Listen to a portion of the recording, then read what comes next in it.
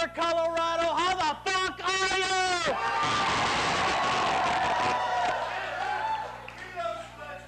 I love sluts. Before we get into this tonight, you are here on a historic night. We are being broadcast all over the country tonight. So, so we got to make sure that we show the rest of the country we're not a bunch of pussies in Denver, Colorado, all right? Tonight, we are also cutting a live DVD and a live CD to be distributed nationwide by Happy Scratch Records.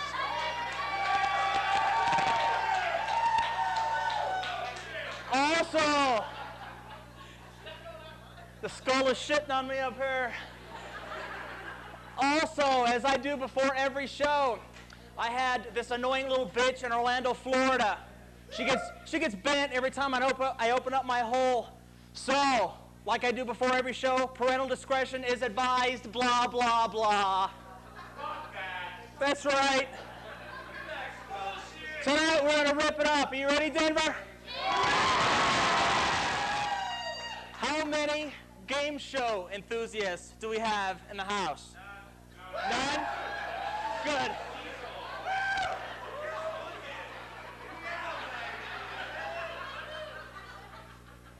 Sorry, I had Chinese for lunch. That is the coolest goddamn thing I've ever seen. All right, game shows.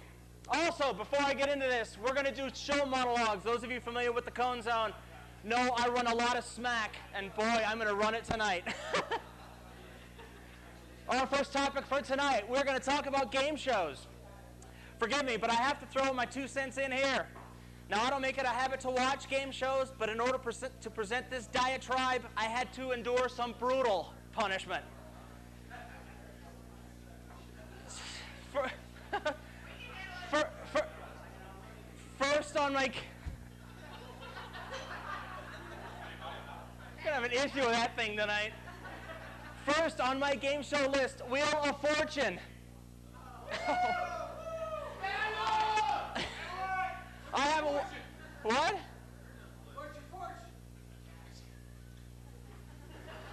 I, uh.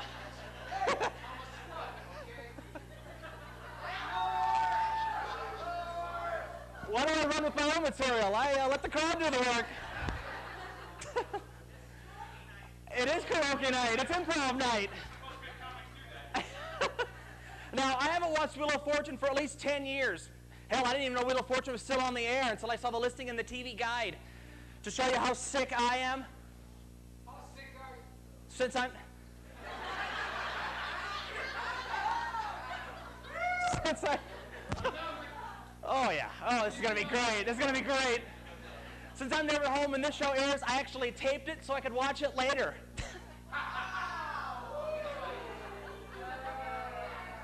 After. After all this time, Pat Sajak is still the host.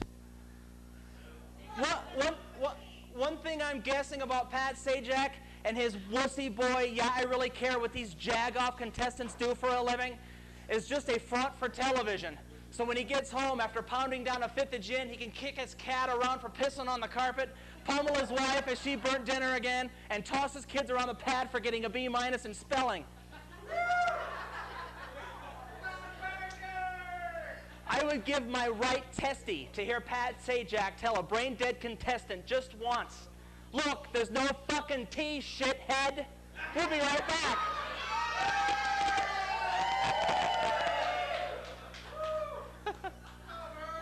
Welcome to the show, the fastest F-bomb in CD history. As far as the other half of this freak show, I used to think Vanna White was a useless slug.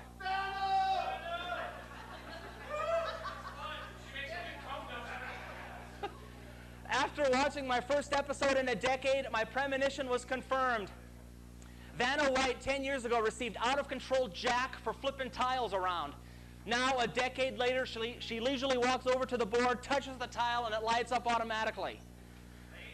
One of the most unbelievable quotes I've ever heard flying out of a human being's pie hole came after Vanna squeezed out her first rug rat. She, she ran with, quote, I want to work less, end quote.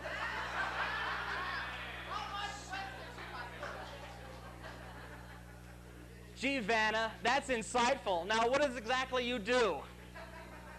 I know turning bathroom tiles can be a stressful bitch, but if you work less, you'd be the bread boy at Fazoli's, okay? Next on the game show parade, Family Feud. the horror. Whose bright idea was it to trot out a family of five and have them work together as a team?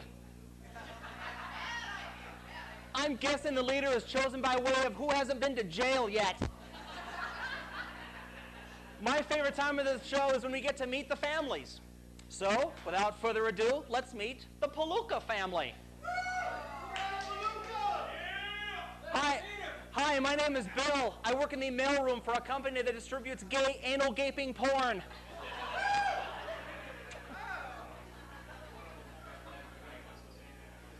This woman next to me has blown every swinging meat whistle in the neighborhood and has the full stomach and runny nose to prove it.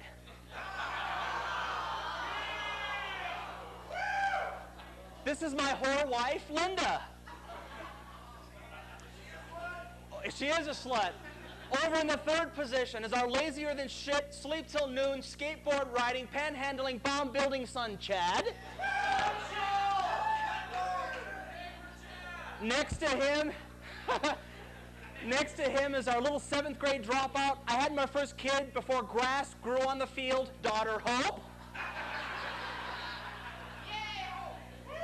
And finally, down on the end, my alcoholic, chain smoking, married and divorced 12 times, and whose skank is so loose she whistles when she walks, mother in law Alice.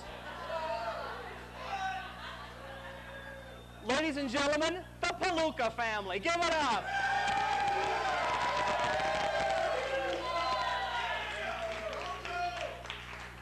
Let's meet the host of our show. Since Ray Combs, of the, the host from a few years ago, can't read tonight, I'm a retard.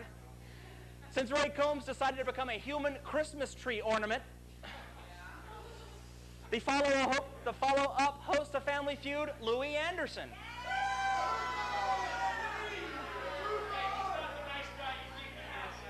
Believe, believe me, folks, I thought it was a joke too the first time I heard it. I used to. I think it's pretty safe to say that Louis Anderson is a tad overweight. Hey, Louis, survey says mix in a sit up between meals, all right? Christ, dude, if you get any bigger, you'll be able to slap the top four answers on your ass.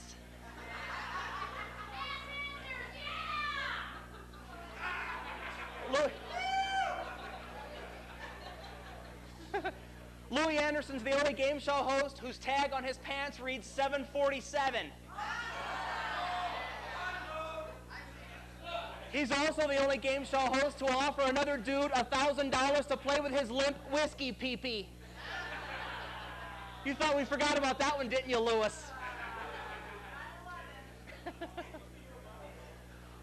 While Richard Dawson was known for kissing each female contestant, Louis Anderson faz- fantasizes about taking balls on the bridge of his nose.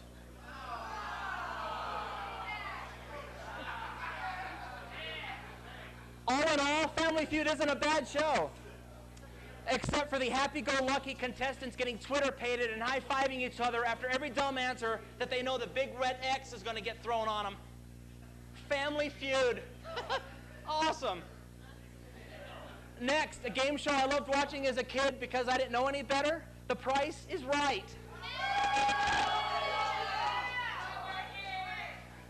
When I when I flipped on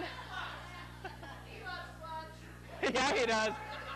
When I flipped on the Family Feud, I could not believe that Bob Barker is still the host. This guy was a Jurassic Park fossil 25 years ago. As I watched this show in the year 2002, the first thought that ran through my head was as I saw Bob Barker and his fake and bake pie hole as he stood holding his penis looking microphone was, wow, he's still very alert for being Montgomery Burns old. It's nice to see that uh, the Price is Right finally rolled over their prize hookers, huh? I was starting to think that Holly was a robot. One quick memo to Bob Barker. Since you finally have eye candy turtle wax skanks again, how's about keeping your fucking hands to yourself this time, huh? You already ran Gina Lee Nolin off screaming because you're some prehistoric pervert. Don't do it again. How would you like to be?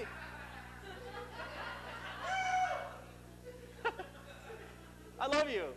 Hey, how would you like to be the new Barker beauty in the dressing room, putting on makeup and have a naked Bob Barker roll in with his great grandpa crank and cheesy puff balls coming at you?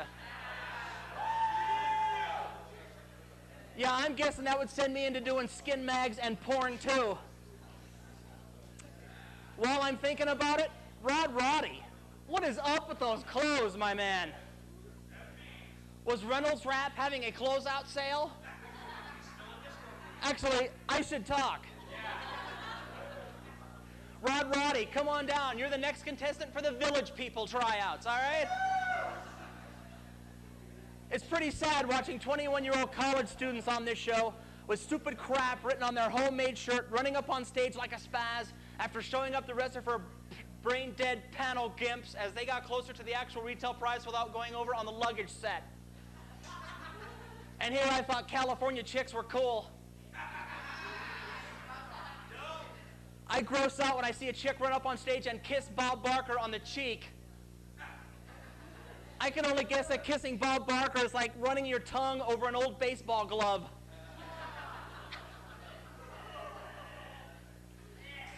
While they show the prize that Mary has a chance to win, off camera she's spitting out Bob Barker's skin flakes.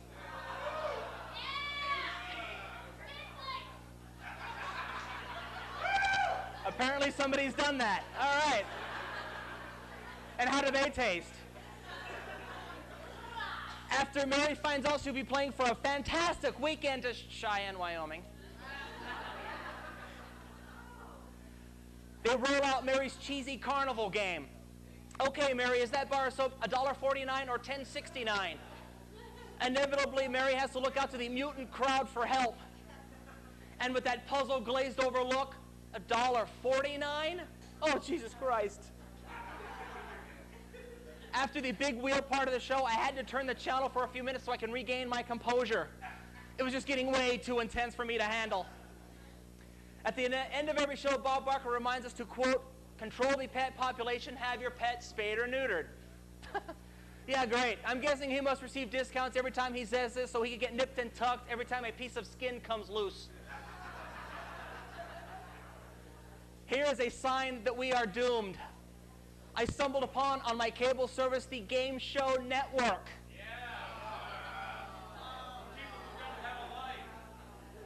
An entire network devoted to game shows 24 7.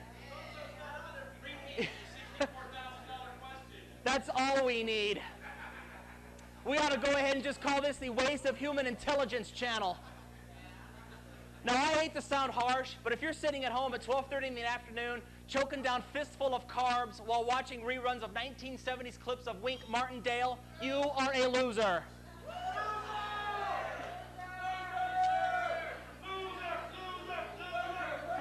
And just for the and just for the record, Regis Philbin, you were the king of all talk show host dipshits, and that's my final answer. Those are my game show takes, but then again, what the hell do I know? All right. How many people, how many people went to the Renaissance Festival this year? It does suck. All right. I'm starting to get a read on you people. All right. Hear ye, hear ye. Tonight, I will be discussing the Colorado Renaissance Festival. Forgive me, but I have to throw my two cents in here. I went into this year's Renaissance Festival in Larkspur, Colorado with an open mind. About 60 seconds, I was annoyed. My fellow festival goer was dressed in her boobalicious Renaissance garb. I, however, went in shorts and a t shirt. One minute in the gate, we were confronted. we were. we were confronted. Yeah, I should have worn these, you're right. One minute in the gate. I am losing control rapidly. One minute in the gate, we were confronted by some teenage puke with his plastic sword, quote, Me lady, why art thou walking with this transient who doesn't know how to dress? End quote. Hey, do me a favor and shut the fuck up, David Hyde Pierce, all right? I didn't pay 28 bones to listen to your old, bad English lingo. So do yourself a favor, you little bastard, and stay the hell out of my way before I take that plastic lance and shove it up thou ass. I think it's pretty safe to say that I pretty much hate you now. In fact, I hope you impale your beanbag with your plastic sword and your testicles spill out resembling the leper stepping out of the bathtub. How's that, Sir Dorks a lot? One thing I've always wondered about the Renaissance Festival, how is it determined who will be good King Henry every year? I'm guessing it comes down to the one who gets their shifts covered at Subway gets the gig. George Herman played the role of King Henry this year. Great. Congrats to you, G. It's funny watching all the players in this bad play bow to George, King Henry, as he sits on his make do throne. According to the booklet you get as you walk in the front gate, as far as the entertainment goes for the Renaissance Festival, quote, what the king wants, the king gets. Well, isn't that just special? My advice to George Herman don't get used to being treated like royalty because I'm guessing as of July 29th, when the costumes get junked back into the trunk, it's back to the Diamond Shamrock where your $9 an hour ass will be stocking tampon boxes as your 18 year old manager's out smoking by the back door.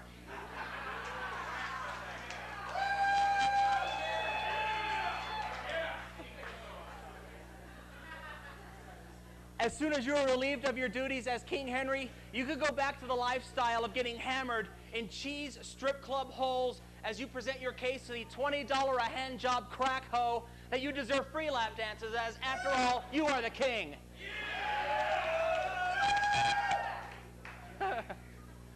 After that fails, it's time to drive home, hoping to stay DUI free in your broken down, rusted out Chevy Nova. See you next year, good King Henry.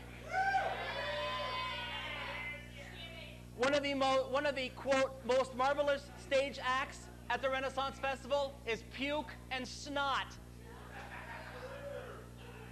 What the hell is that about? When do fart and queef roll out their set? Apparently, Mark Seavey and Joe Kudla, aka Puke and Snot, must think that there's some kind of, as they must think they're, all right, let me start that again. I can't read.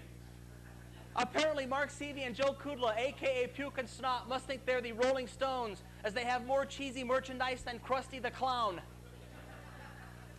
Look, fellas, just do your little vaudeville Shakespeare for Dummies presentation and leave the overkill commercialized paraphernalia to the Hard Rock Cafe, all right? An act I do recommend at the Renaissance Festival Dead Bob. After all, you can never see enough ventriloquist acts in a lifetime. Maybe it's me, but I can watch a fist operated skull talk about tits all day long. Kind of like this show. All right. Kudos to you, Dead Bob. Here's a question maybe somebody can help me with. How do I go about applying for the job of tomato guy who hurls insults at people at the Renaissance Festival? No offense, but the dork who holds down the gig now is a bit of a pussy. Let me throw, let me throw some smack around at some of these brain dead hamsters who hawk tomatoes like six year old girls. Hell, with my mouth, I think I would last about a day before some fat Colorado hillbilly replaced a tomato with a 45, and made ketchup out of my brains. Before I move on, before I move on, just a quick suggestion to the proprietors of the Renaissance Festival. Get rid of the Jack Daniels country cocktail cart that's parked in the middle of the Renaissance Festival grounds. I'm no historian, but even I know there was no freaking Jack Daniels in the 15th century. I mean, come on, you're selling turkey legs and every kind of grub on sticks. I'm pretty sure we could do without the Jack. Thanks. Nice sponsorship suck up, though. Another exhibit. ah, I guess so. Another exhibit I recommend checking out at the Renaissance Festival the Dungeon Museum. Nothing spells out family entertainment like showing how rats chewed the face off of somebody who kiped a loaf of bread. My personal favorite from the torture dungeon was the practice of ripping out the tongues of the women who constantly bitched. Oh, oh, so many comments, not enough time. Since I knew I was going to do a monologue about the Renaissance Festival, I thought it would be kind of fun to screw with the tarot card readers. you know, those fat Miss Cleo hogs who chain smoke while telling you the obvious events that will unfold in your future. You know, shit like, I see you getting an excessive amount of junk mail, or I see you walking on a sidewalk full of cracks, or I see you get, I see you getting a phone call from a friend within the next 120 months. So I approached the bag of wind who was looking for suckers, I mean clients. I asked her how much it would cost to have my cards read. As I went into this thinking, this should be a gold mine of material. Before she, she quoted my price, she asked her assistant what time it was. Here I'm thinking, you know, this was part of her shtick. When the other goofball didn't know the time, she then started asking random strangers for the time. That got me thinking. She was going to tell me my future, but didn't she didn't know the time. Something didn't settle in this picture. After a few minutes of pestering people for the time, my $25 a reading quote was uttered. Yeah, I'm going to pay 25 bones to have my cards read? I don't think so. Come on, Big Ben. What do I look like? An idiot? You're charging 20 you're charging 25 bones to spew drivel to the naive, but yet you don't own a Timex. Nice try. How classic is a Renaissance festival? There's absolutely nothing like it. Where else can you witness future criminal 10 year old kids stabbing each other with plastic swords? Well, besides at Juneteenth.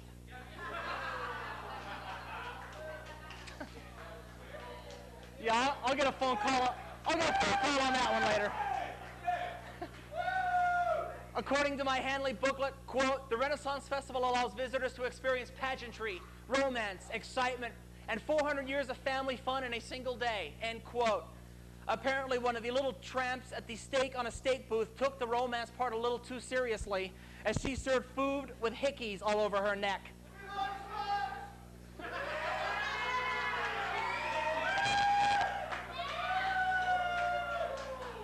Classy. I wonder if she was playing the role of Renaissance skank.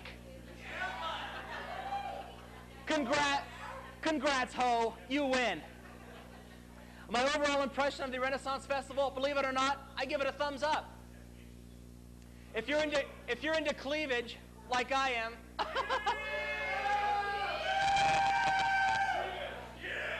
I wouldn't miss the Renaissance Festival if your sack was on fire. I haven't seen this many racks since Poison's 1989 World Tour. So eat, drink, be merry, and enjoy the Renaissance Festival for what it's worth. That's my take, but then again, what the hell do I know?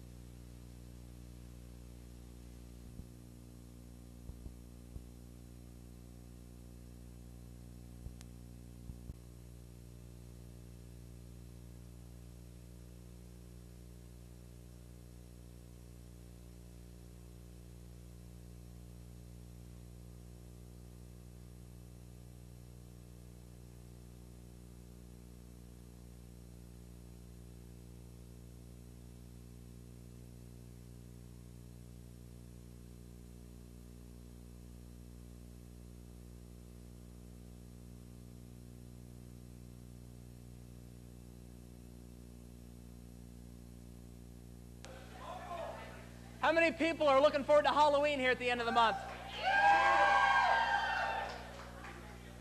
My next, my next topic, we're going to talk about worthless holidays and observances. Forgive me, but I have to throw my two cents in here. the reason for this topic tonight, I was watching the Idiot Box on March 17th and couldn't believe what I was watching. A local news anchor kicked it out to a reporter covering the St. Patrick's Day festivities in downtown Denver. During the meaningless, fluff, time killing report, I witnessed a group of alkies stammering around thinking they're hip as they gussled green beer on a day they knew nothing about. Now, I spoke with a gentleman from Ireland shortly after St. Patrick's Day who told me, quote, Americans are morons, end quote. That sums it up after watching this news report, that got me thinking about all these other worthless holidays and observances that revolve our calendar year. The holiday, the holiday, the holiday that I circle on the calendar every year and is becoming the most amusing day of the year, Columbus Day, October 14th.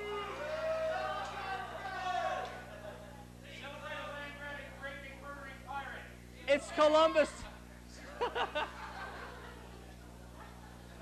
It's Columbus Day. What could possibly happen on Columbus Day? I park myself in front of the television and sit in Columbus Discovery glee as local Indian windbag Russell Means cranks out his teepee to protest this day. It's great watching Russell Means gather his flock and lead his inebriated sheep to the downtown parade. Every year, it's the same shtick. Halfway through the parade, a group of Indians gets cuts off the parade route and inevitably gets hauled away in steel bracelets. Russell then blows his smokestack, so to speak, about how the plight of the Indians in this country is unfair.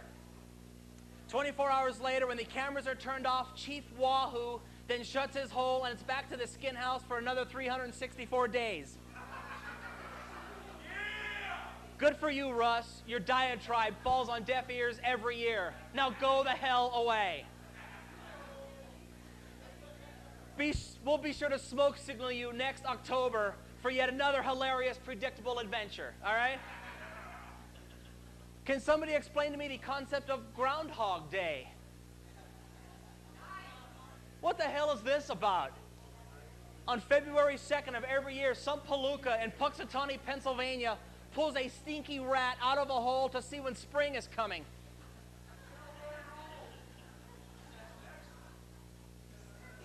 You see, this is what happens when Hicks have way too much free time on their hands.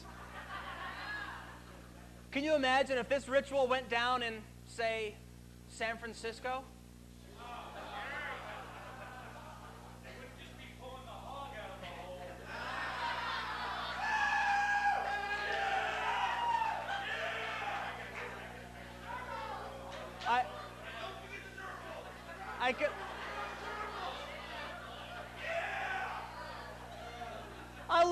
I love you.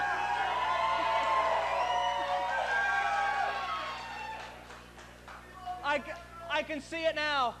I can see it now. The mayor of San Francisco pulling the fat, furry rodent bastard out of the ground. If a shadow appears, six more weeks of winter.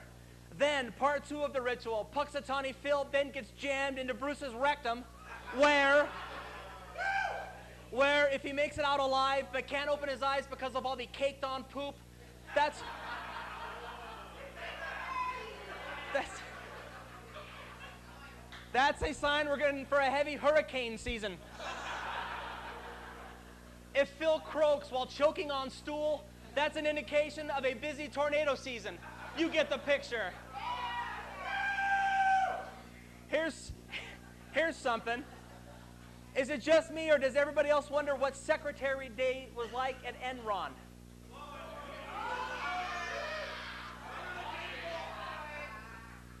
By the way, before we go any further, I just want to take a second to wish everybody in the crowd watching at home a very happy belated Cesar Chavez Day. just remember, just remember, a two cents an hour Cesar Chavez apple a day keeps bullshit holidays like this away, all right? One one of the biggest hallmark holidays of the year has got to be Valentine's Day. Personally, I could give a shit about this commercialized day of the year, all right? What's the purpose of Valentine's Day? Spending hard earned jack on the person you're currently skanking because it's expected of you? Come on. I look.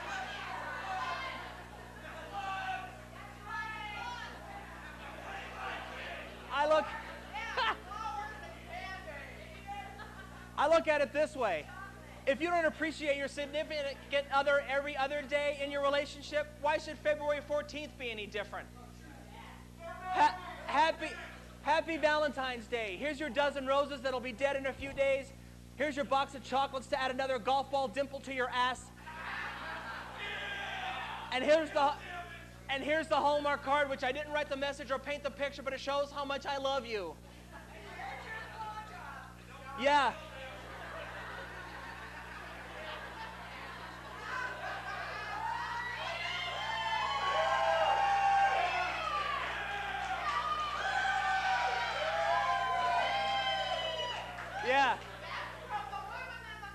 That's right. You're right. You're right. You're right. A sloppy blowjob is a great holiday gift. I, I have something to show you how much I love you too. A full swinging sack of nut custard. Where would you like it? Shall I break out the bathroom towel or will it be going down the hatch so there's no mess? Hallmark. Hallmark, you should be ashamed of yourself taking advantage of the naive like that. And just a quick note to the media who blow this holiday up stop it. Most people can't figure out a 20% tip on a dinner tab, let alone if this is a real holiday or not. Two more holidays that we need to wipe off of the calendar every year Mother's Day and Father's Day. Now, now, now, now, now, now, hold on. Hold on. Hold on. Before, before you call me an ungrateful asshole, hear me out.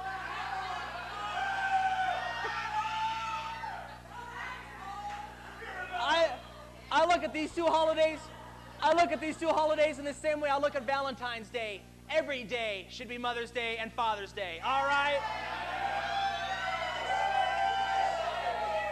Yeah, see? You, you turned on me. I'm starting to figure you out. We shouldn't need one particular day of the year to honor our parents. If you have to have a calendar remind you to pick up a rose for your mother, you're a fucking clod who needs to imitate an 83rd trimester abortion, all right? By the way, I love my parents to death, in case you can't tell. Staying on the abortion theme, I have a huge bitch that I need to get off my chest. Ladies and gentlemen, if you're listening to me and I don't know you, if I've never met you, and if I've never even spoken to you, quit telling me when it's your birthday, all right? Look, losers, I don't give a shit when you pop from the womb, all right?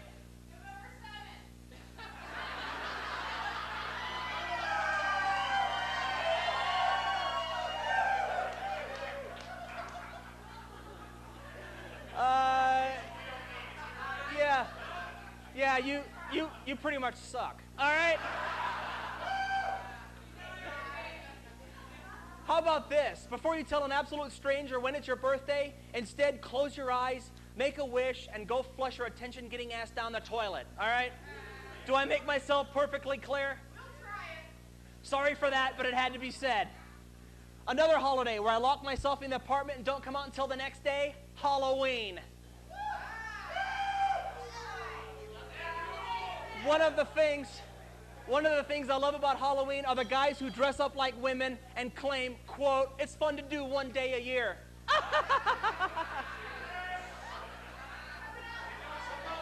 yeah, right. You say that. You say that. You say that because nobody's around when you break out the bra, garters, and lipstick on your deviant Boy George Saturday afternoon dress up sessions.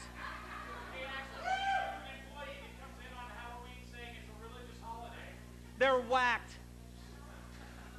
I can also pretty much guess that none of your friends have seen you, have seen the show you put on as you stand naked in front of the mirror with your crank tucked between your legs as you run through your, your fingers through your bush while chanting, Daddy's girl's a horny girl.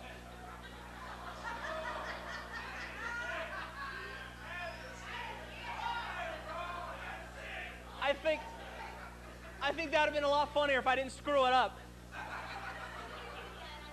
One day a year, huh? Look, pervs, Halloween is for kids. Save your Bob Crane transvestite parties for Cinco de Mayo instead, all right? One of my one of my favorite quotes, one of my favorite quotes ever uttered by a human being came the Monday following Easter. A chick that I work with who was hanging a little bit ran with quote I got so drunk celebrating Easter yesterday. End quote. I had I had no choice but to zip my hole and walk away as I wanted to Ike Turner slap this hoochie. Getting drunk on Easter Sunday? Priceless. I'm sure Christ must be proud witnessing you getting tanked on a day when he came back from the dead. As Jesus is celebrating his resurrection, you're slamming down tequila shots like the plane is going down. I can only guess if Oksana Baiul is getting ripped on Easter, she must break out the heroin and shrooms on Good Friday, huh?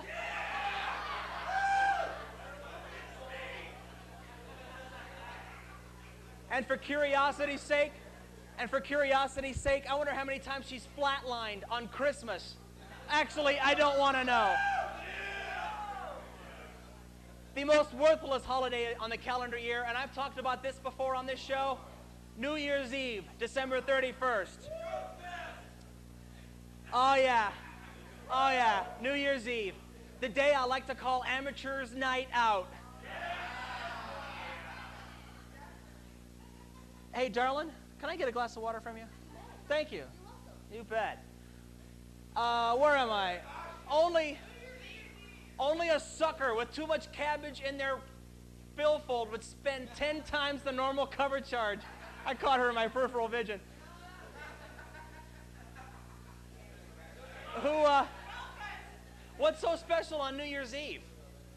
Don't give me that. This is the last day before my New Year's resolutions kick in rant because we all know that 99.9% of all New Year's resolutions end up in the crapper by January 3rd. I love people who are going to, quote, stop smoking starting tomorrow. Come on, most people have the same self control as Delta Burke in a bakery. And Savior, starting January 1st, I'm starting a new life spiel. What are you signing your 10 movie, $200 million contract? Have you come up with the winning Powerball numbers? Have you decided to be a nicer, better person to your fellow man? If you answer no to any of the following, then just as I thought, New Year's Eve is just another day. Thank you.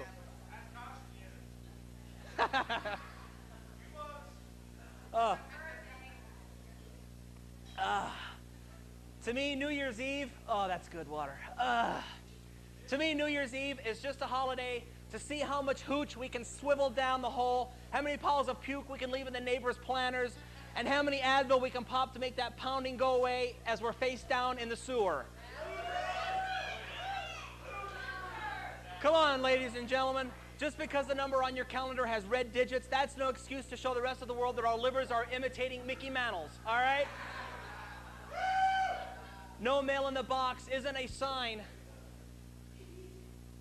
that the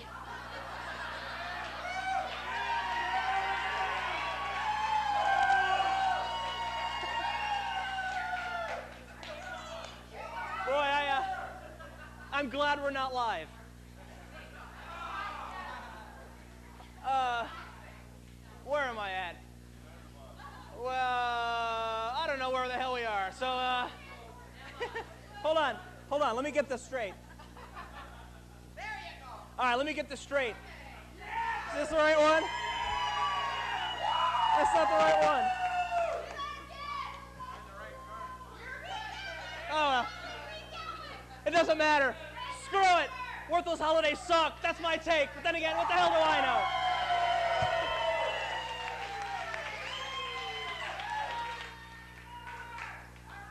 Before we go on, before we go on, I have a special thanks. I want to throw out a couple of kudos out to Wolf, Jason, Sheila, Catherine, Eric, Carlos, and the entire staff at Cafe Netherworld. Give it up for Cafe Netherworld.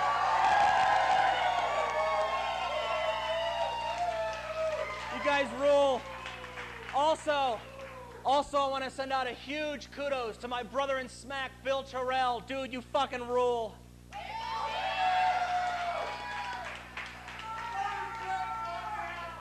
How many strip club regulars do we have in the house?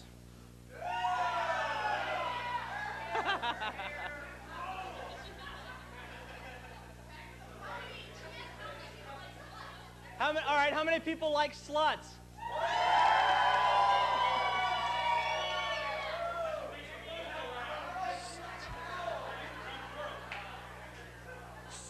Clubs. Forgive me, but I have to throw my two cents in here. Now, I very rarely venture out to the strip club circuit. You know, I look at it this way why pay for tits and ass that I can't touch in strip clubs when if I apply myself, I can get it for free on the outside? Besides,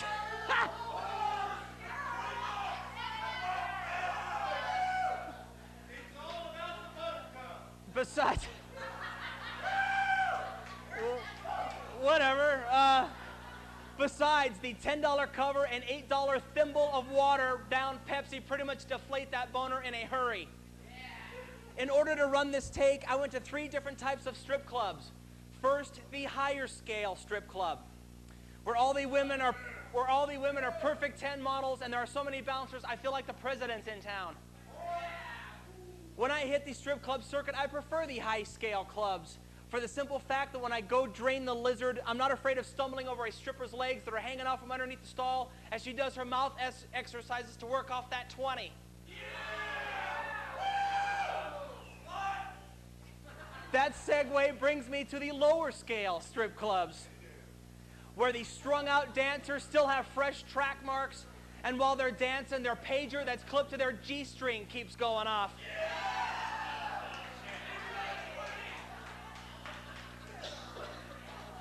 Another sign that you're in a shithole strip club, your cocktail waitress sets her tray down on your lap to go do her bit to the Casio keyboard version of Wham's Wake Me Up Before You Go Go.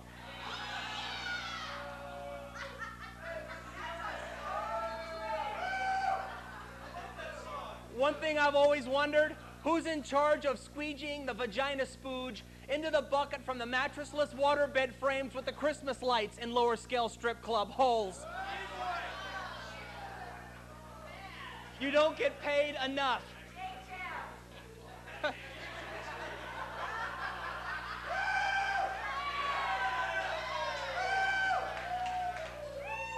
Here, here's a shocker. I once saw a guy get hustled in a sleaze hole strip club. I know it's hard to believe, but it happens. I actually kind of felt sorry for the guy, but that lasted about 10 seconds as I realized that John's strip club patrons, it's survival of the fittest. Here's how it all went down. A stripper approached a mark a few feet from me. After a couple of minutes, a cocktail waitress walked over and took the couple's order. She asked, quote, would you like to buy the young lady a drink? End quote. The guy, while staring at his company's stretched mark granny cleavage and thinking with his little brain, nodded his head.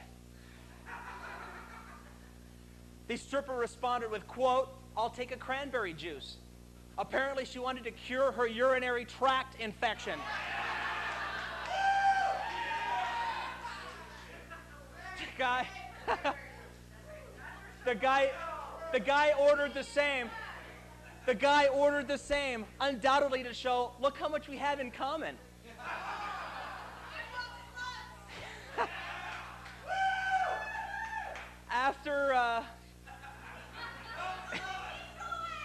I know, I'm trying.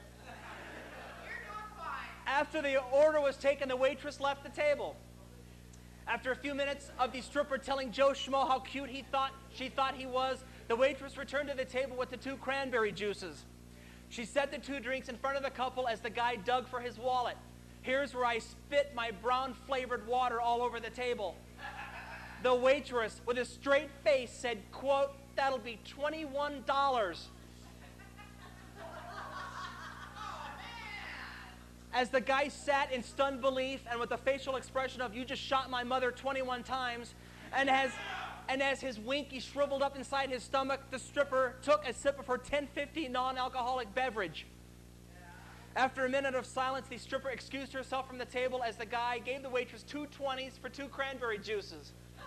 Hook, line, sucker.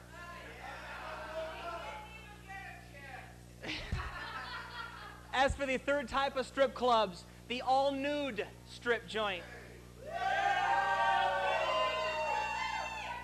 I guess the phrase leaving something to the imagination is pretty much an oxymoron here, huh? I love the strippers. I love the strippers who want to start up a conversation with you as she buries her baby powdered scented clam on your beak. As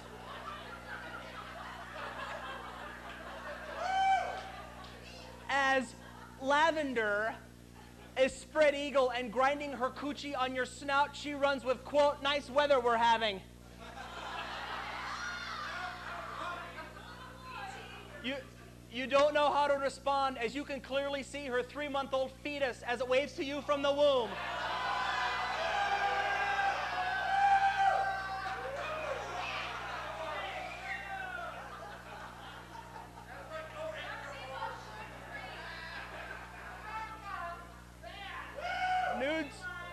Stripping is the only profession where women will show total strangers their G spots for a dollar. A dollar! If anybody in this room, if anybody in this room has two quarters, three dimes, two nickels, and ten pennies in their pocket and an all nude strip joint, you can see the internal organs of the woman of your choice. God bless America.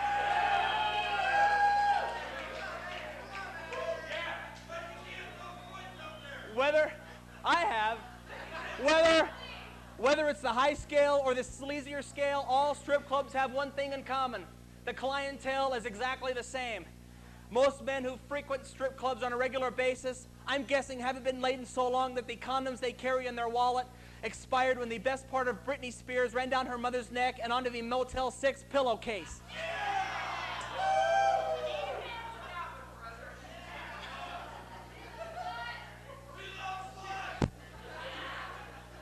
Watching guys in strip clubs is sometimes more amusing than what's happening on stage.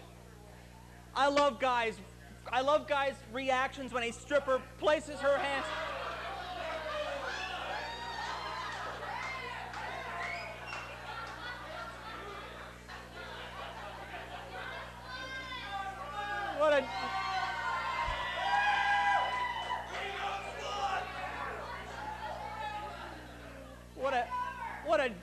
Guy was.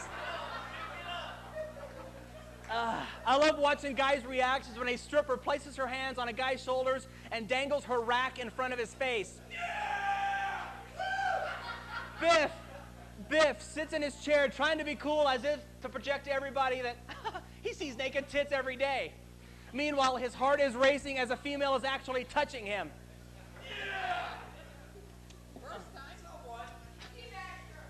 It's priceless. It's priceless.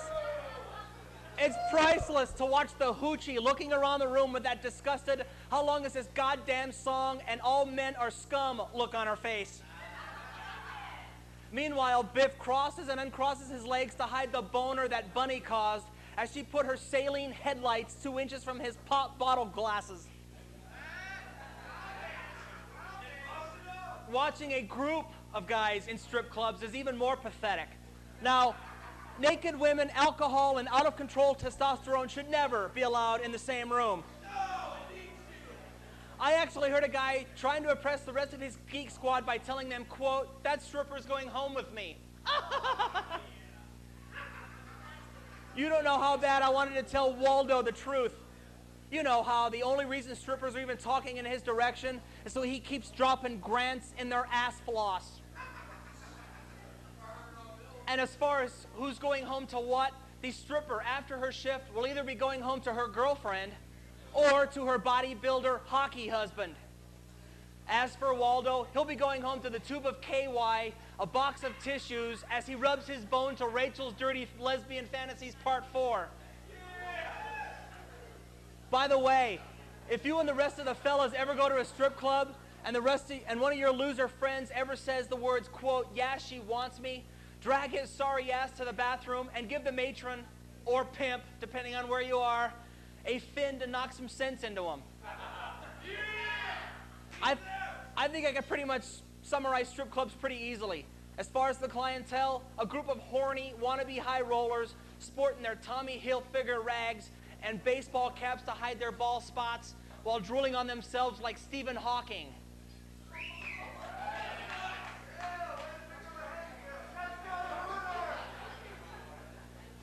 In every strip club, in every strip club around the country, I guarantee you right this second, there's some dork trying to show off and get into the pants of girls he can never have by smoking his $2 chicken bone cigar, throwing down $8 micro brews like it's his 21st birthday and the plane is going down, and every 10 minutes checking his cell phone for messages just to look important.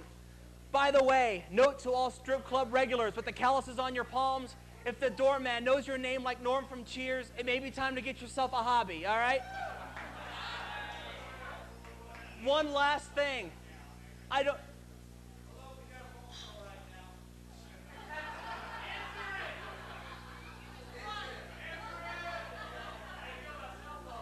Cell phones are the Antichrist, all right? One last thing. One last thing. I don't even want to think about the disease collection on those brass poles in the middle of the stages. I can pretty much guess there's shit on those poles that don't have names yet. Hell, I'm looking at them. I salute whoever came up with the concept of strip clubs. You make Alexander Graham Bell look like a wussy. That's my take, but then again, what the hell do I know?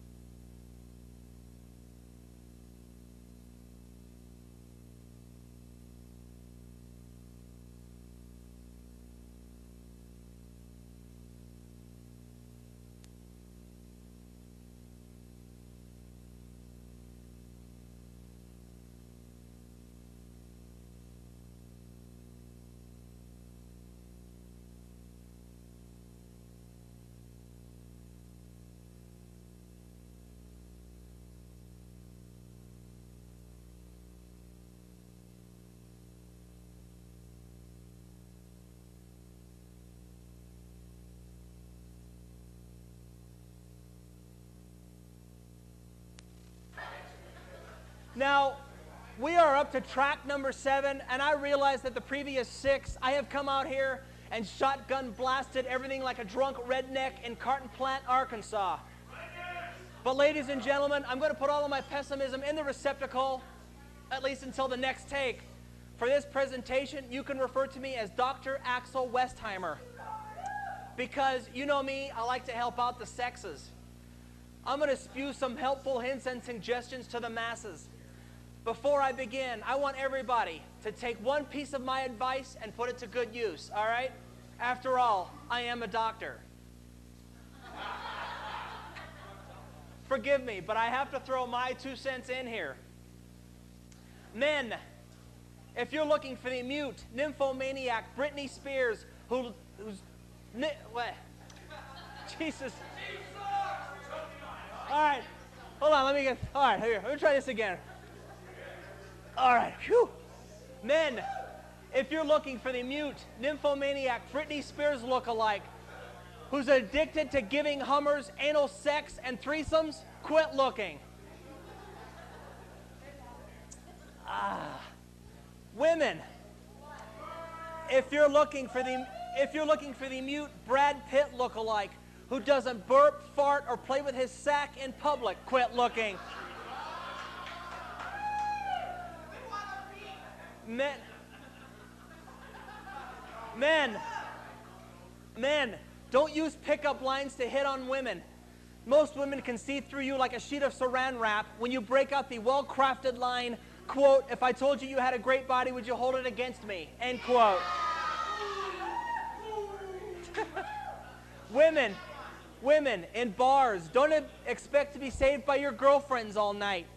If you're an out of control, lush hoochie, you have that flashing bang me and make me squeal like the pig that I am neon sign on your chest. Sometimes.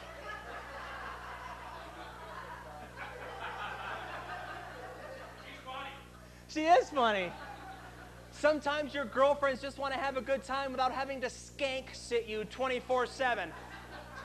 And believe it or not, and believe it or not, some nights your girlfriends want to have a good time. Yeah. Men. Men. Men.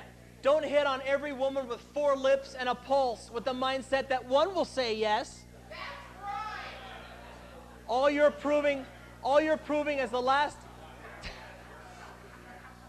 this is a sick crowd. I love it. All you're proving is that the last naked female your desperate eyes gazed upon was through the peep show window at the local skin house. Women, if you're a size 14, for Christ's sake, don't try and pour yourself into size 3 clothes, all right? Ah. If your leg flab folds up and over the miniskirt and you need scissors to get them off, that's a sign, that's a clear cut sign you need to break out the tent size smock frock.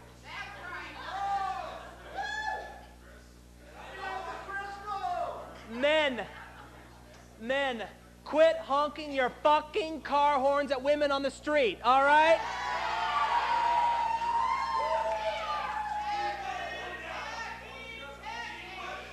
They are not Hollywood and Vine hookers looking for Johns. At least most of them aren't. hey, Einsteins, in case you couldn't figure this out for yourself, a woman, after being honked at, isn't going to tear off all her clothes, jump in the passenger side of your 91 Metro, and start slobbing on your blowpipe. Okay, idiots?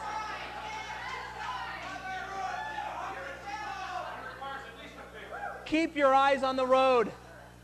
And as for guys who over the years honked at me thinking I was female from behind,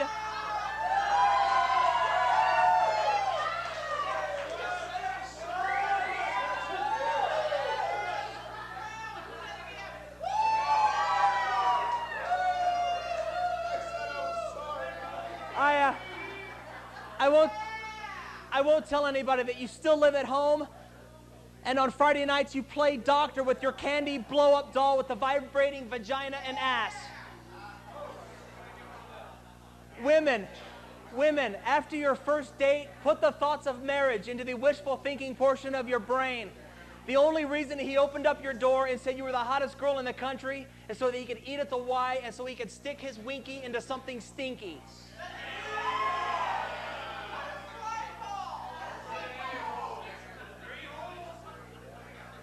Men, men, when you're talking to women, their faces are up here, not down here.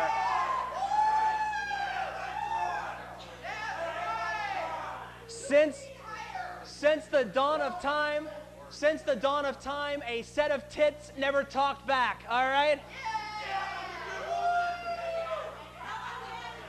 Women, women, if you, care, if you catch a guy carrying on a conversation with your rack as he drools all over himself like Christopher Reeves,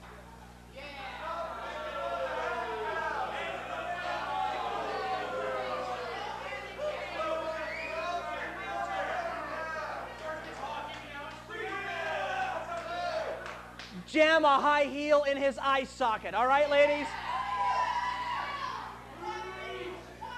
And since you have my permission, that's good enough. Before I wrap up yet another family oriented take, here's some advice for both sexes. First, if your IQ is under 80, please get yourself fixed.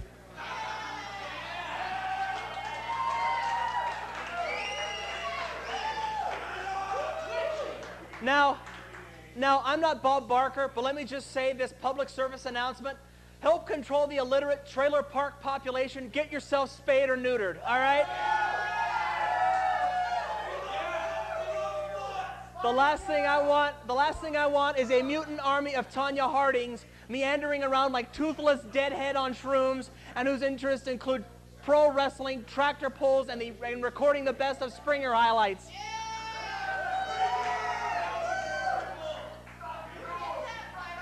Whew. Second, second, don't give me that quote, I'm single because I want to be horse shit.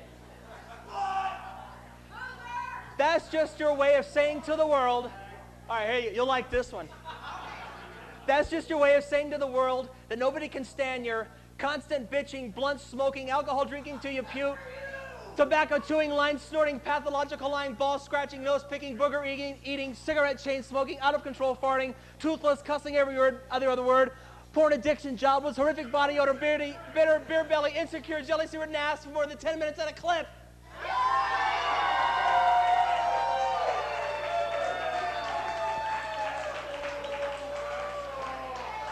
Woo!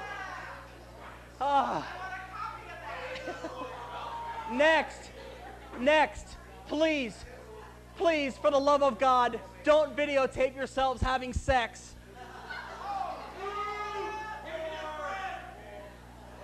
The thought, the thought of two chunky grizzly bears getting it on is a disturbing thought. I think if I ever saw it because I accidentally punched up the wrong website, I would have to Kurt Cobain my skull all over my wall.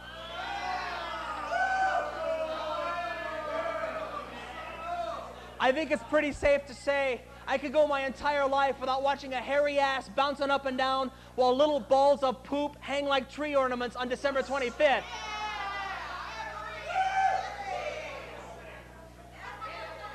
Take that visual home with you. And finally, and finally, if you do happen to pick up a pathetic goober from the opposite sex, how about using some birth control, huh? and no, the pull-out method isn't good enough. I know a woman who's 31 years old and has 11 kids. Let me let me repeat that. I know a woman who's 31 and has 11 kids. Actually, actually, actually, since I started this take, actually, since I started this take, number 12 just flew out and the basketball team is now complete. Okay, okay, here you go. Here you go. Y'all will like this one too. This is dedicated to stank. This is dedicated to skank woman whose penis cozy is whiter than the Grand Canyon, all right? There once was a woman who was little over 30. She didn't protect herself because she was dirty. She had so many kids, she doesn't know what to do. Her body's so destroyed, her uterus falls out every time she makes number two.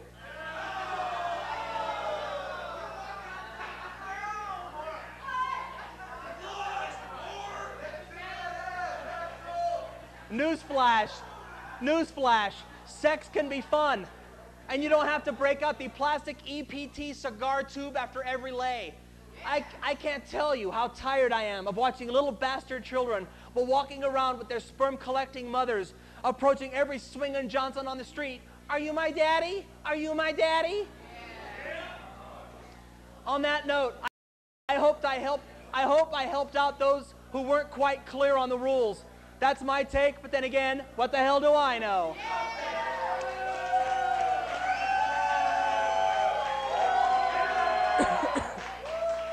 before we get into the, before we get into this next take, more special thanks. I want to thank my crew. Dana, Dana, Lisa, Jason, Guy in the truck, Angel, my hot cue card girl, my security guy Dave. Also, also give it up for audio consultants who are cutting the CD tonight. Most of all, I want to thank all you sick motherfuckers for coming out tonight.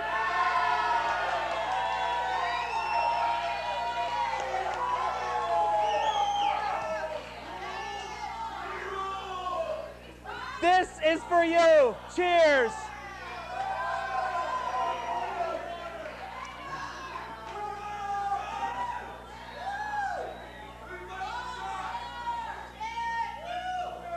Before I cut loose with this next take, I can't promise that I'll be able to get through it without getting pissed as hell. But for CD, video, and TV sake, I'll try. I am going to talk about two bad television shows that not only shouldn't be praised, but in fact should be assassinated from the grassy knoll. Forgive me, but I have to throw my two cents in here. Now, I've been on television since January of 2000. And okay, maybe I'm a little biased, but I think I put on a pretty damn good show.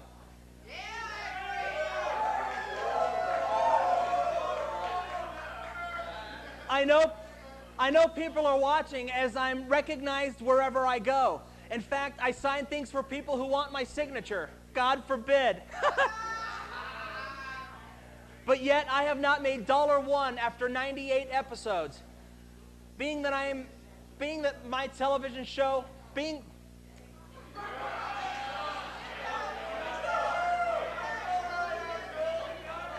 Whew! All right. Thank, thank God, thank God for editing. Uh, being, being that I'm on television, I like to surf around at the shows that are popular and making money. Two of the most popular shows on television right now caught my attention. First, the Anna Nicole Smith Show.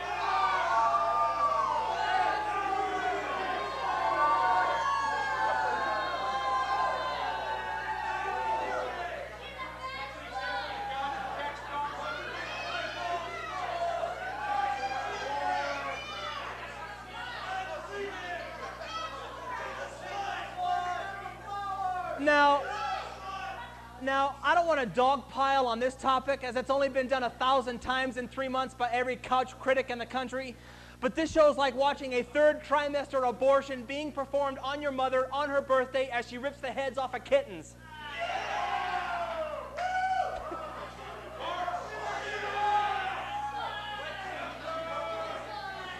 E. E. What? E. E. What in the hell are you thinking? Given the bloated, gold digging, foul mouthed, drugged out, single digit IQ, illiterate pig keys to the network. That's a brilliant idea. I wanted to blow my brains out when I found out that the Anna Nicole Smith show scored the highest rating for a premiere in cable TV history.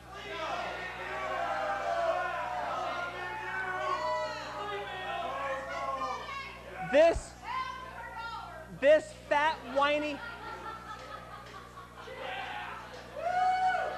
this, this fat, whiny pig and her gaggle of leeches are making history by putting out that drivel? God, kill me now. The pig, the pig launched a classic blast in the first minute of episode number one. Quote, People think I'm fat. Well, maybe I am a little big boned. End quote. Whatever, sweat hog.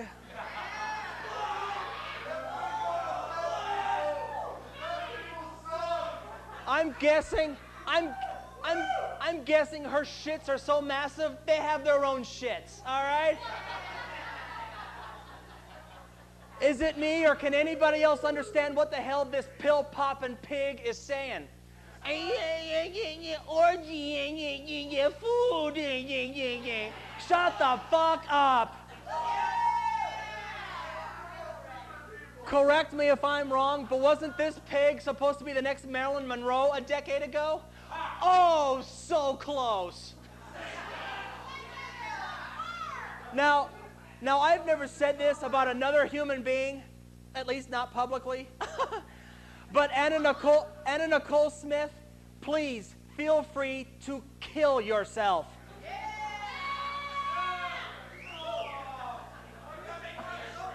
I know, I know that's harsh, but there's the episode I'd watch. I will hoover down the popcorn as the pig swallows a fistful of whale poison and then winds down like an old grandfather clock. That would be entertainment for me. And ladies and gentlemen, have we lost sight of the fact that Anna Nicole Smith is a mother? Yes. Remember, Remember, it was me who said on this date, October 19th, 2002, that in 10 years we'll watch Daniel on court TV during his trial for murdering the underage hooker because she injected his last speedball.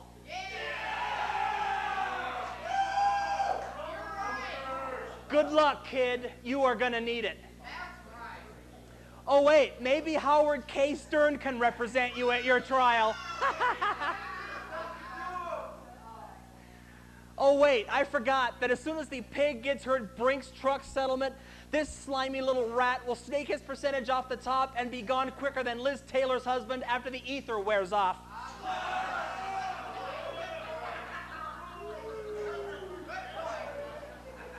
Here's a question.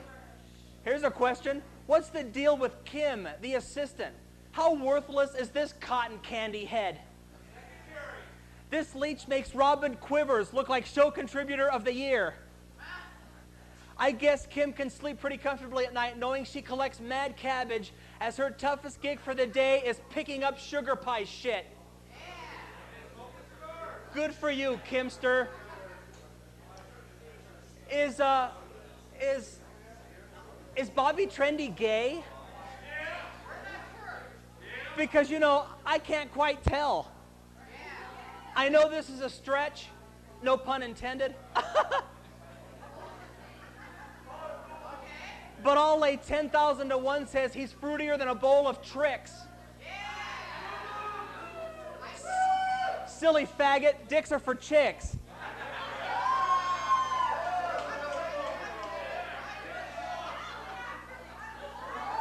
Oh, yeah, I'll get a phone call on that one. For the record, for the record, I'd rather take a switchblade and pumpkin out my eyes rather than watch this abortion of a show. Let's pull the plug on the worst program ever put on TV and save what little brain power the American public has left, all right? The second worst show on television right now, The Osbournes.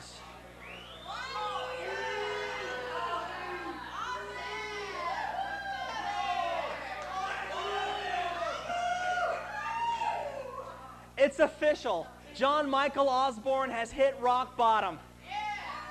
I've had so many people come up to me, you gotta watch the Osbournes. You gotta watch the Osbournes. So I caved and made it a point to sit down and watch the goddamn Osbournes. After viewing this, after viewing this, let me just say, it's a lucky thing none of these Eggerons were in the room with me after this 30 minute tragedy ended, as I was in Ike Turner mode yet again. The entire half hour, I was trying to figure out how is this show supposed to be entertaining? Watching the maid pick up dog crap?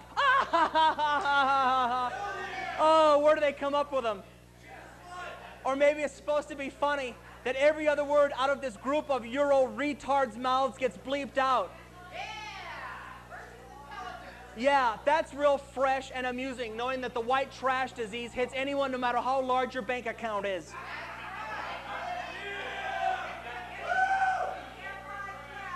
I am going to go on record right now and say those two little foul-mouthed Osbourne rugrat bastards need to be taken outside and beaten to within an inch of their lives.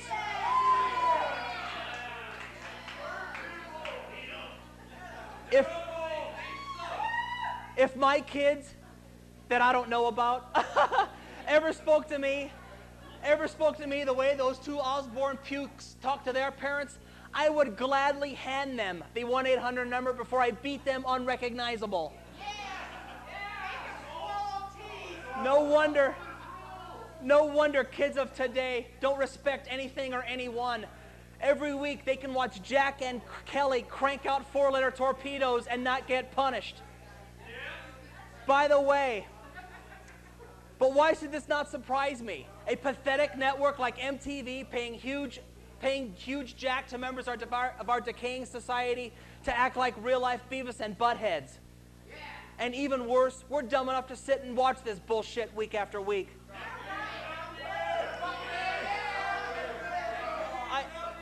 I used to, I used to, th- I used. I used to think Sharon Osbourne was a smart businesswoman, but the more I watch her, the more annoying she gets.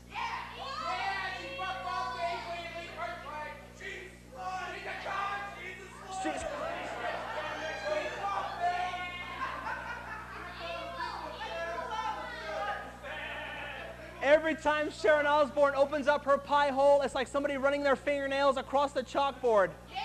Yeah. A quick note, a quick note to Sharon. A quick note to Sharon Osbourne. Shut the fuck up and go light somewhere, all right? Yeah.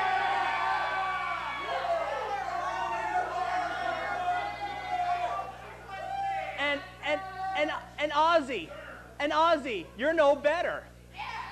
Is this guy the po- is this guy the poster child for not doing drugs or what?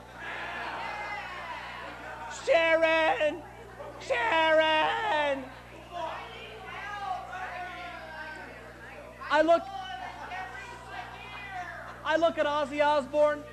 I look at Ozzy Osbourne in the same way I look at Elvis Presley. For those of you over 50, how do you remember Elvis?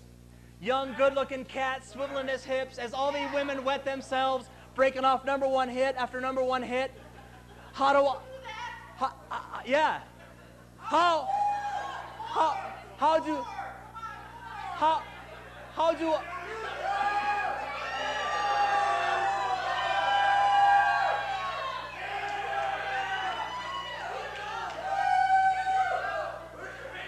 how uh, how uh, how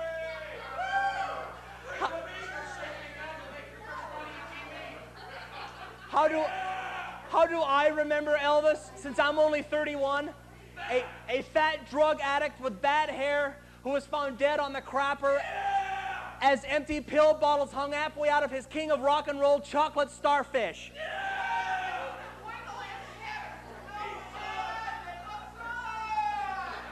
With that said, with that said, I want to remember Ozzy Osbourne as one of the pioneers of rock music. The man who inspired, oh, every band in the last 20 years.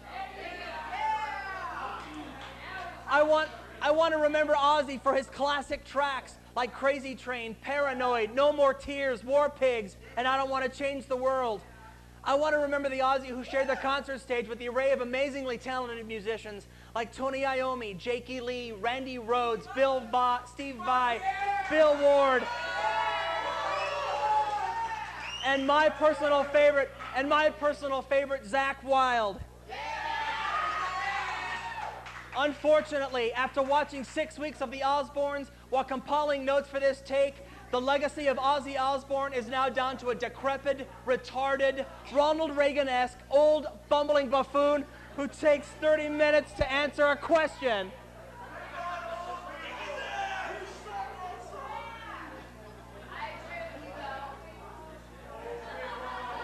And whose and whose wife is an annoying nag, rubbing it in our face how rich she is, and whose kids are spoiled, rotten little shitbags.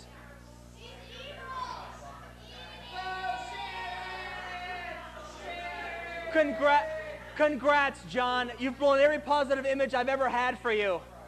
I'm guessing Randy Rhoads must be spinning in his grave at this horrific television sellout.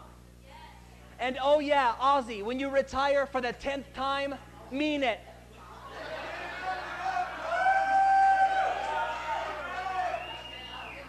Stay off of the radio, stay out of music stores, and especially stay off of television. Your act is tired and your music now sucks. In case you couldn't tell, I'm over this reality concept that seems to be inundating our television screens.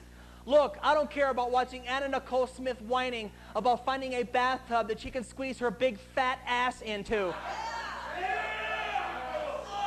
I don't, I don't, I don't care about what Sharon Osbourne bought her pet psychic for Christmas. For Christ's sakes, enough already.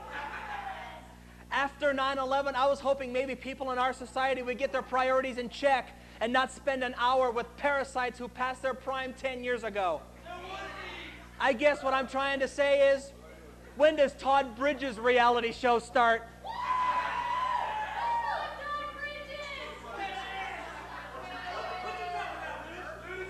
Actually, actually, actually, I should probably zip my hole.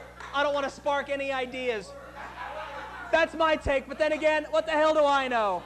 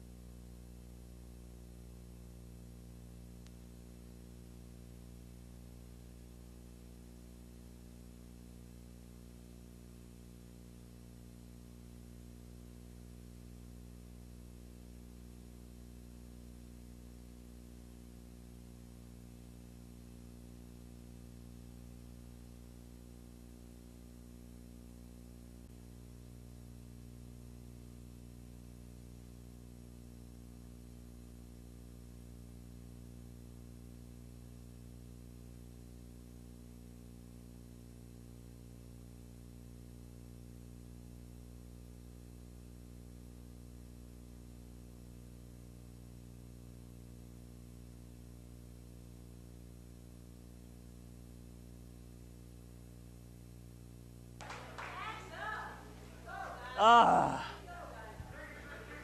How many rock and roll fans do we have in the house tonight?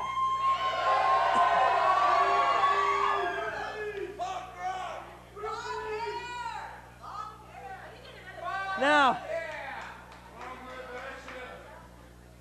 oh yeah. Oh yeah, here we go. This little monologue will put the sniper holes in my wall for sure. we are going people watching in rock nightclubs. Forgive me, but I have to throw my two cents in here. Since I do a rock and roll type TV show, this diatribe will probably hit a little close to home. So let's keep in mind that this is still comedy. Let's also keep in mind that I am not well in the head and I can pretty much find something wrong in everything. Let's keep the sense of humor mechanism on. We all can be poked a little fun at. With that said, people watching in rock clubs, definitely the most unique species of club participants. Now, I hate to flash back, but I can remember 1989, a little rock club in Glendale, Colorado called Bangles.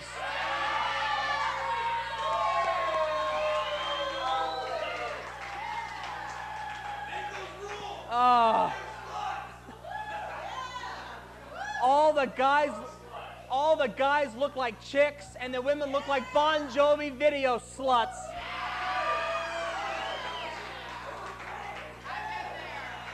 Women wore their hair high, bras as tops, and skirts so short you could tell what religion they were. People wanted to party all night. People wanted to party all night and have nothing but a good time all the time. The music, the music was so great, I still sport guitar screeching wood to this day. Party bands like Ratt, Motley Crue, Bon Jovi, Faster Pussycat, Poison, Cinderella, Skid Row, and the list goes on and on. Set the tone.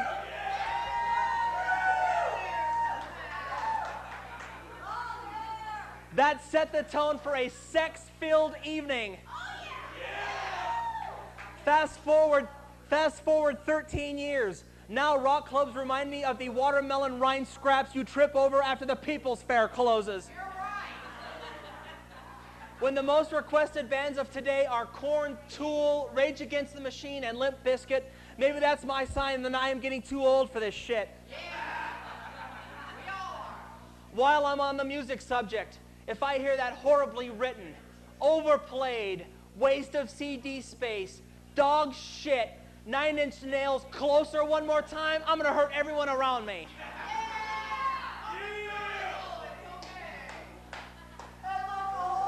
It's hard. It's hard to get into my head that it's not 1989 anymore. So now I basic I basically frequent strip clubs for entertainment purposes only. I mean, what else would I do there? Pick up women? the only way the only way I'd take some of these rock club women home is if I could set up a liposuction machine in the corner. I really, I really don't feel like playing the find the vagina in the sea of buttery flab game tonight. Thanks.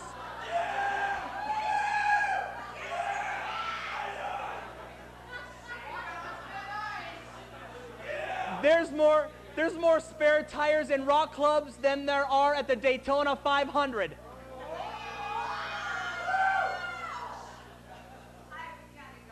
In metal's heyday, in metal's heyday, women actually took pride in how they looked. Because if you weren't a hottie, you were thought of as the designated driver for the Christina Applegate look-alike pieces of ass who are going to be moaning around 3 o'clock in the morning. Now, now, in the year 2002, I'm guessing women are going for the Rob Zombie meets Texas Chainsaw Massacre look.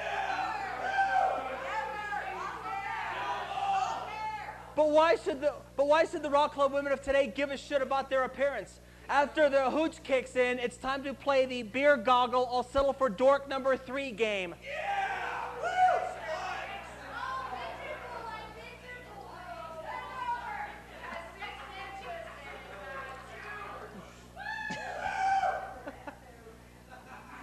The thing that gets me, the women of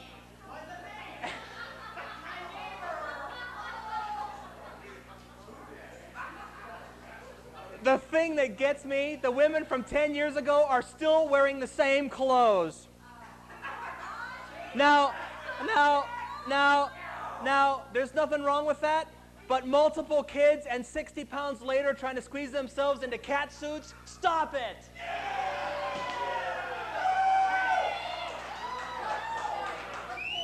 yeah, yeah, Yeah. 10 years ago, 10 years ago, you were a piece of ass Now a piece of your ass has its own zip code, all right?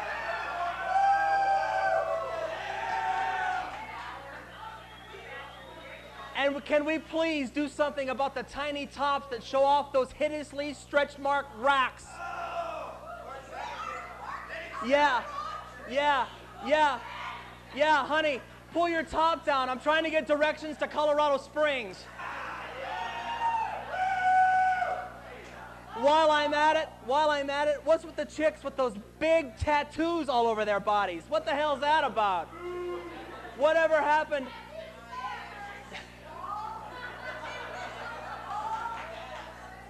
Whatever, whatever happened, whatever happened to the little heart on the titty or the butterfly on the calf?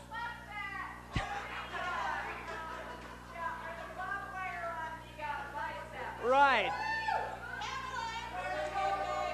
Now, now chicks are all sleeved out, sporting the dragon and the jungle back piece, and the bloody skulls that cover the entire leg. Yeah, that's yeah, that's real feminine.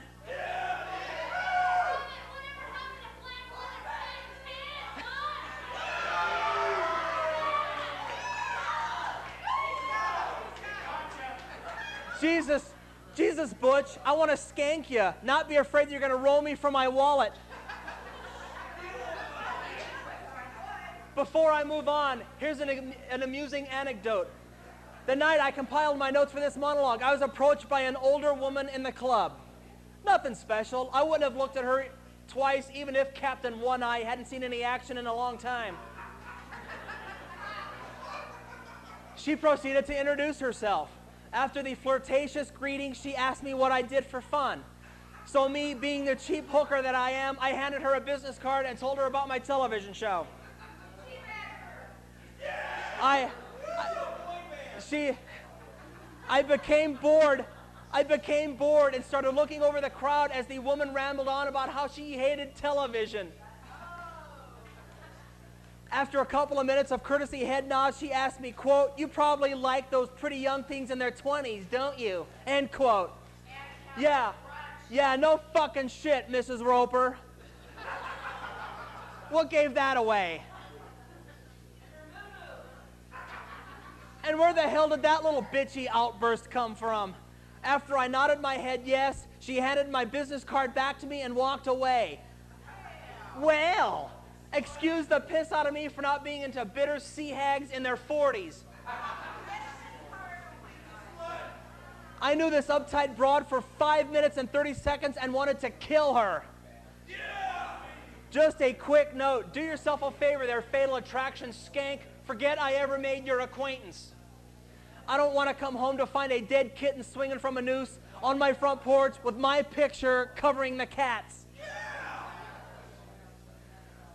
It's amusing when I walk into rock clubs, look around the room at the women, I start thinking to myself, did her, did her, did her, saw her naked, and got a Hummer from her in the front seat of her car in the parking lot.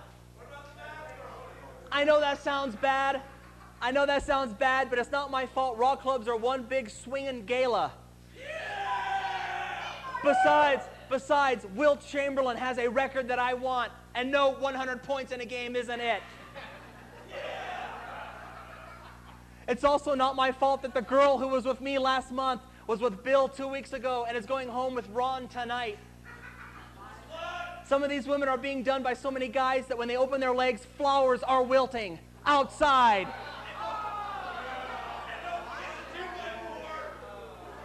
And just for the record, that's not a bad thing because as everybody in this room, we salute sluts.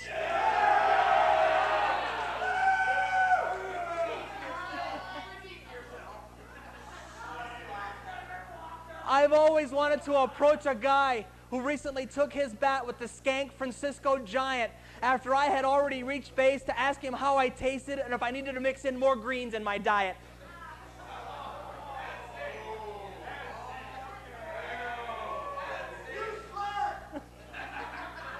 it kind of weirds me out. It kind of weirds me out. Now that I think about it, in essence, I could say that I've boned everybody in the club. Sweet. Have you ever paid attention? Have You need more greens in your diet, pal. Let me tell you what. Have you ever have you ever paid attention to the dance floor in rock clubs? At first I thought some of Jerry's kids got loose for a night. Drunk white people trying to keep in rhythm to Pantera's Cowboys from Hell. Stop it, I'm pissing myself. I personally love the women who dance with their girlfriend to avoid being hit on by dorks. This is priceless. As Rico, as Rico Suave with a mullet cut, Iron Maiden tee, and a garage made tattoo of a black blotch approaches the lone female dancer, she's then forced to grab her girlfriend and grind her beaver on her leg like a horny basset hound trying to ward off dementia. My question, my question then becomes, what the hell good does that do? Now instead of asking you to dance, he's now luring at the two of you like Hannibal Lecter on the date rape drug, drug fantasizing about it would look like if you two 69 each other. Way to go. Way to go. Now he thinks he can get both of you in some kind of lipstick lesbian trifecta. I'm telling you, rock clubs are the greatest entertainment a $2 cover can buy. I just, I just can't get enough of the unfunny disc spinners cracking off jokes that he saw on Comedy Central earlier that day. I especially love, even though I'm a non-smoker, leaving rock clubs smelling like an ashtray from a bingo parlor. That's real nice. My advice, my advice, hit a rock club, stay sober, and enjoy the show. That's my take, but then again, what the hell do I know?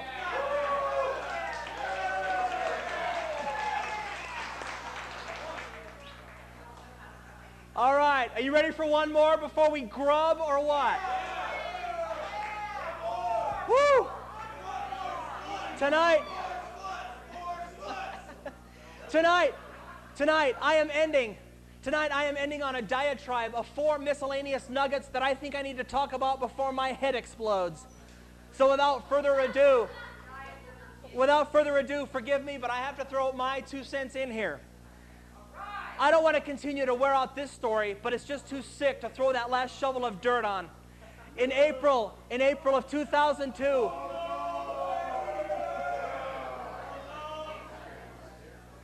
in April of 2002, somebody in this country paid $3,500 for a chewed piece of gum that belonged to Arizona Diamondback baseball player Luis Gonzalez. Is this a clear cut sign that the end is near or what? I mean, I mean, picture this. I mean, picture some dickhead at his computer entering credit card digits for 3,500 bones for a chewed of piece up double bubble. I don't know this for sure, but I can only guess that this piece of gum is on the mantle along with Monica Lewinsky's Q-tip Ted Kennedy's empty beer bottle, Ron Jeremy's used condom, Madonna's phone bill receipt, and the preserved drop of sweat from Tiffany's 1989 World Tour. Yeah.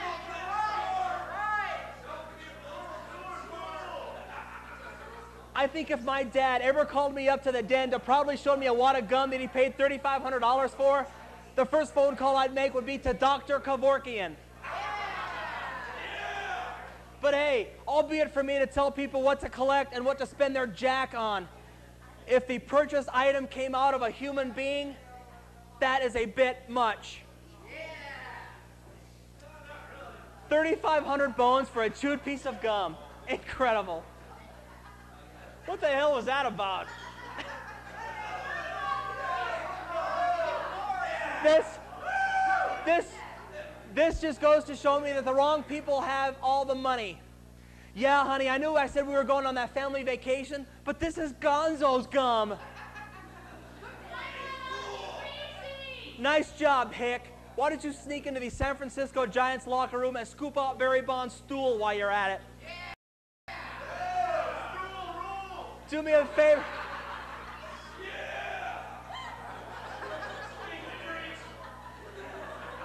Do me a favor, Hick. The next time you flip on eBay and you see the used steroid needle that still has Sammy Sosa's ass fat from that morning's pumping on it, keep the checkbook closed. Check this. And keep in mind, I can't make this up if I wanted to. According, according to a San Antonio, Texas newspaper, in 2002, over three dozen complaints to the San Antonio police alleged sightings of senior citizens engaging in sexual activities. The,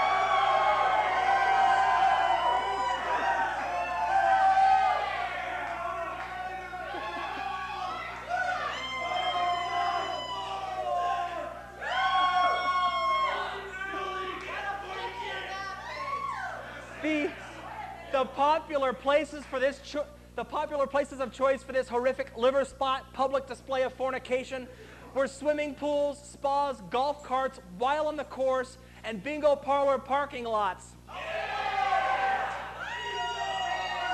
Now, now, for the life of me, I just can't get the visual out of my head of Abe Vigoda ass pounding Betty White while on the green of the ninth hole.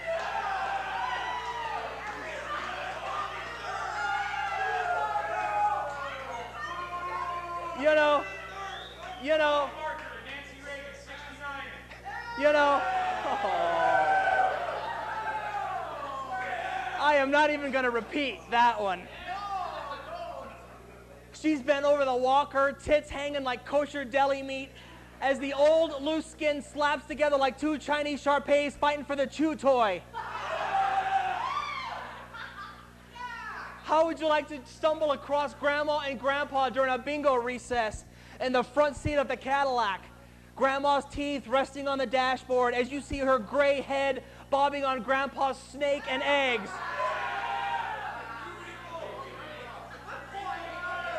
Scro- scrogging during bingo. I'll never be able to hear the phrase 069 again ever with a straight face. Now you figure with those outrageous rates these senior citizens' homes are charging, they should be able to provide a romper room for Rip Van Winkle to drop trow and spray sawdust on Nana's baseball glove pie hole.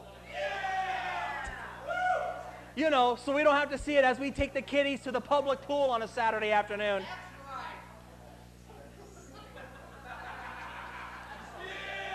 I can only I can only guess after Matlock, the TV room in the nursing homes must break out into full-scale orgies, huh? Just just just move the white cotton panties away from the blue cheese crack before going to town on that burnt toast penis cozy. I would I would I would hate to be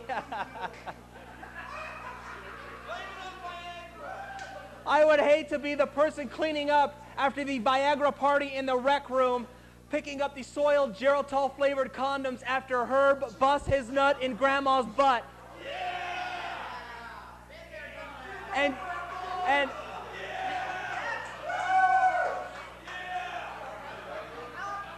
and, and just a, and just a sidebar, and just a sidebar. What does an elderly woman's vagina taste like? Depends.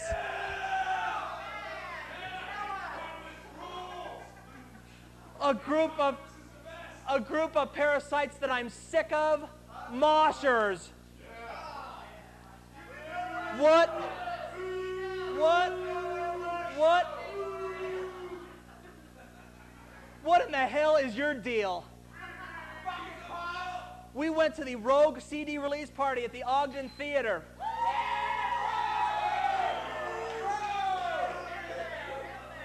We decided it'd be kind of cool to hit the floor to watch Cone Zone friends Peace, Love, and Destruction play their set. While we were on the floor, while we were on the floor, there they were. These skinhead, shirtless, fat, pasty white pieces of shit blobs known as moshers.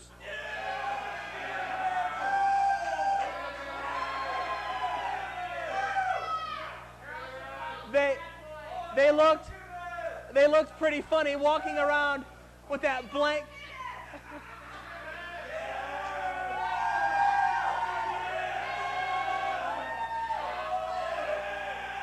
they looked pretty funny walking around with that blank stare and arms bowed out, resembling the cerebral palsy monkey from Planet of the Apes. As soon as, as soon as, as soon as Plaid dropped their first song, it was on. These mental midgets started slamming each other on the auditorium floor, wiping out innocent concert goers in their path. Yeah, yeah. Yeah, yeah, I know, I know. Yeah, I know. If I don't want to be treated like an air hockey puck, I shouldn't have gone to the show. Yeah, right. Yeah. Yeah, yeah, yeah, right. Fuck you. There's absolutely no reason this should be happening at concerts. And don't try to sell me that these dumber than corn cob losers are getting their aggressions out, because frankly, I'm not buying it. Believe it or not, believe it.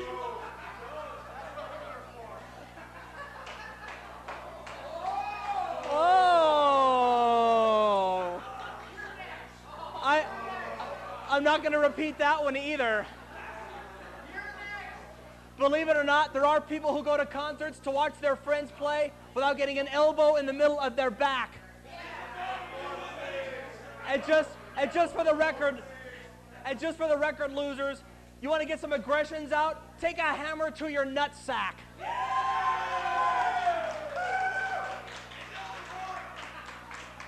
Or even better, try to tackle a moving semi on I 25. I'm going to spell it out for you, moshing losers who are watching me right now. The next time I get shoved from behind or a flying elbow to my skull, I'm going to crack a bottle of, over your head and we'll see how fun it is then.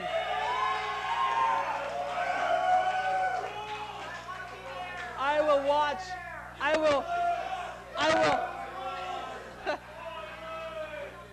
I'll watch with glee as doctors take turns picking glass shrapnel, glass shrapnel out of your empty skull as saliva drips out of your Pantera food hole. And you and you and you think I'm kidding? Try me. One one one final bitch and I am done for the night.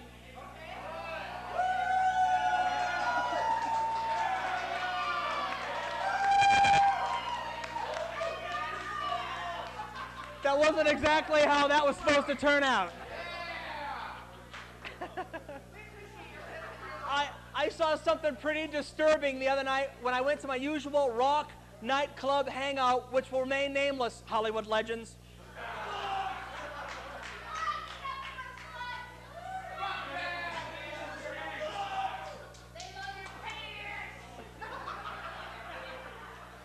On the dance floor, on the dance floor, there he was, Mr. Air Guitar Player.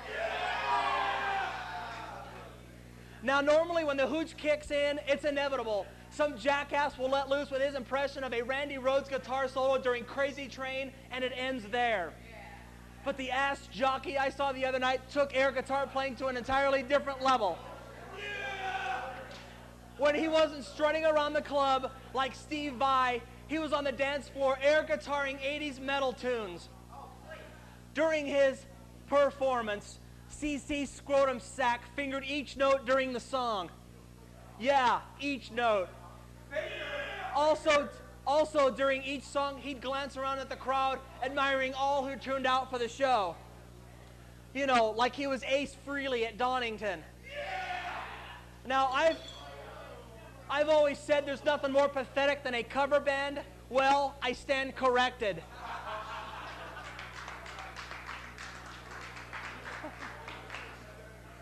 How about some jerk off who air guitars cover songs? Yeah, I think that qualifies. Maybe it's me, but this guy and every other Eddie Van Halen poser is a tragic case of a life filled with failures.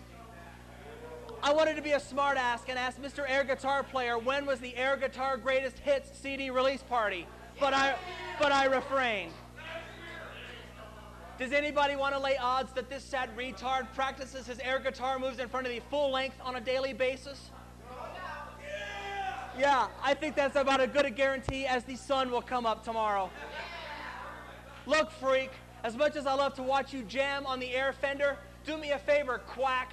Hang up the pretend six string. Playtime ended in the sixth grade.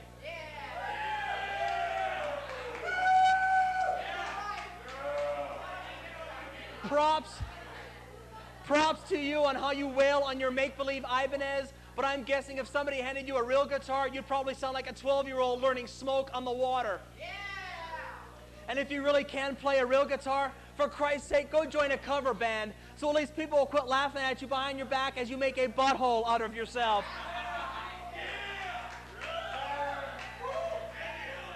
The, there, my bitches are out of my system. I know some of this sounded a little harsh, but really, I've been here to help all night long. I hope my diatribe didn't go in one ear and out the other. That's my take, but then again, what the hell do I know?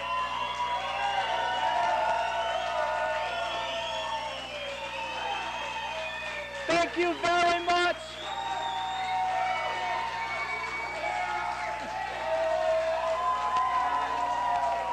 Thank you very much. Thank you very much. Good night, Denver.